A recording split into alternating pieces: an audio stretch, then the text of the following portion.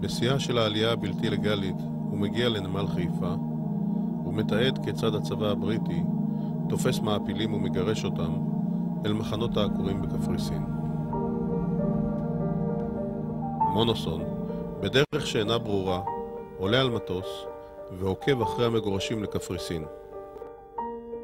הוא מצליח, בעזרת נחישותו ודרכונו האמריקאי, להיכנס אל תוך המחנה, ובהיתר השלטונות הוא מתעד את שגרת חיי היומיום של המעפילים שנכלאו והמתינו בציפייה דרוכה לחזור לארץ.